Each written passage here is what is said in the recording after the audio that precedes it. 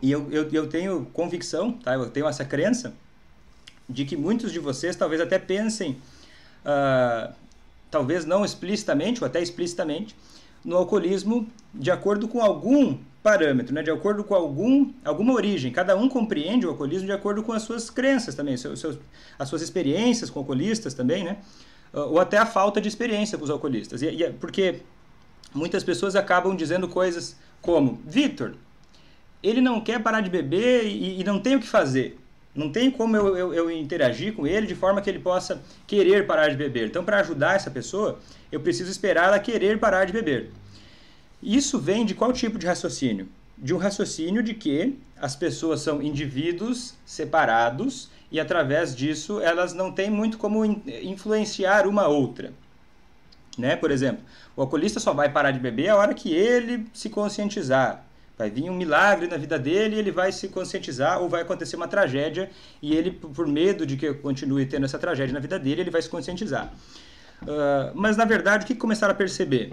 Que ao longo dos tratamentos de alcoolistas, né, que começaram a, a, a buscar de vários tipos de, de intervenções, né, desde de internações em fazendas terapêuticas e até uh, outros métodos, do tipo sanguessugas, faziam de, de, coisas que eram usadas para vários outros problemas também eram usadas para o alcoolismo e muitas pessoas melhoravam, né? Algum, várias dessas pessoas melhoravam. Ah, nessa época também surgiu as, aqueles grupos de alcoólicos anônimos, né? Que são grupos que até hoje são muito fortes, são muito presentes em quase todas as cidades do nosso país e que pregavam essa ideia de que o alcoolista é uma pessoa que precisa ser confrontada, que ele precisa se expor, ele precisa admitir que está doente. Então, uh, e muitas pessoas realmente melhoram. Né? Muitas pessoas vão melhorar. Hoje em dia tem até evidência científica de que alcoólicos anônimos, alcoólicos anônimos funciona de fato para muitas pessoas. Uh, mas demorou um tempo até que a ciência pudesse avançar e compreender melhor qual era o problema. Né? Começaram a ver que algumas, muitas pessoas melhoravam e começaram a investigar quais eram os fatores que faziam essas pessoas melhorar. Né? O que, que era que fazia uma pessoa querer parar de beber e de repente se recuperar completamente?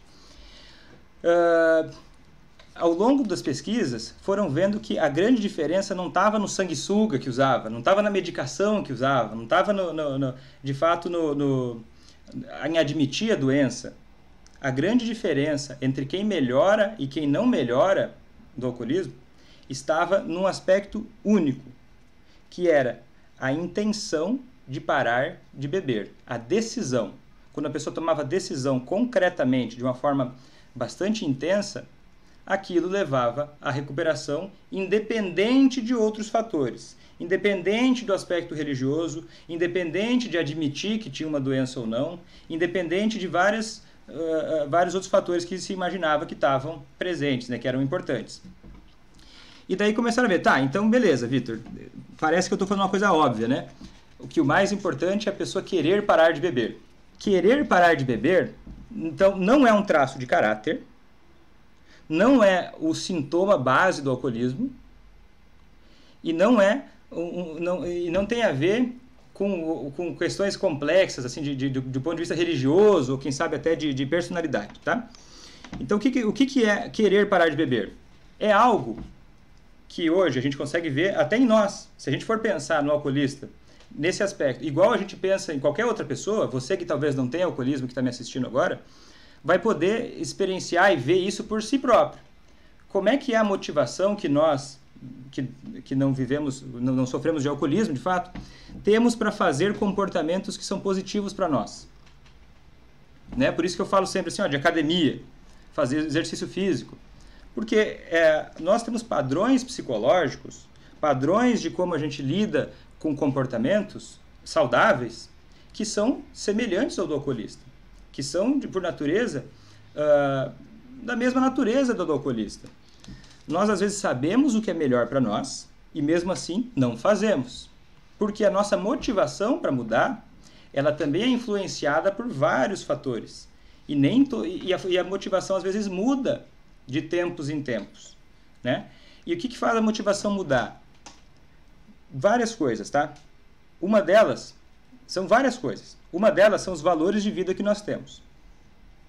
Se nós temos valores de vida que uh, vão muito, muito, muito contra ingerir álcool, por exemplo, a gente pode ver culturas em que religiosamente não se pode ingerir álcool, que é visto como pecado, em que a pessoa já quando começa a ingerir álcool, ela já começa a, a aquilo entrar em choque com os próprios valores. Então isso vai incomodando. Então a pessoa para se tornar alcoolista num contexto assim é mais difícil.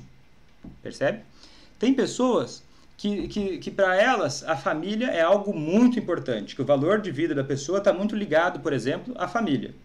Então, quando a pessoa começa a ver que o álcool está interferindo na capacidade de ser pai, de ser mãe, e que isso está causando um prejuízo na sua família, a tendência é que essa pessoa comece a se incomodar e que aquilo de fato comece a motivar ela para a mudança.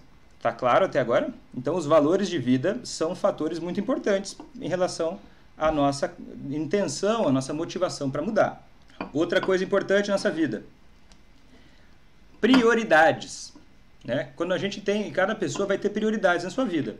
Para alguns, a família é uma prioridade.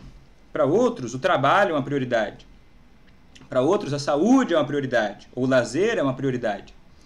Uh, e às vezes a família se preocupa muito com o comportamento do alcoolista porque tem diferenças na avaliação de quais são as prioridades de vida naquele momento. Não é mesmo? Então, às vezes a família calcula a motivação do alcoolista ou calcula o nível de doença dele baseado nos próprios critérios, certo? Baseado nas próprias uh, crenças, nas próprias, nos próprios valores, nas próprias prioridades de vida. Então, uma pessoa que, por exemplo, prioriza muito a religião, vamos dizer que uma pessoa priorize muito a vida religiosa, que ache que, que ir na igreja ou ir no culto, enfim, seguir a sua, a sua rotina religiosa frequentemente é algo muito importante. E daí o alcoolista que sempre acompanhava nessa, nessa, nessa rotina religiosa começa a parar de acompanhar, a, a, a familiar pode começar achando que, olha, isso é um problema grave mas talvez esse, esse familiar que está bebendo demais, que não está seguindo esse ritual religioso, não tenha tanto interesse assim nas questões religiosas.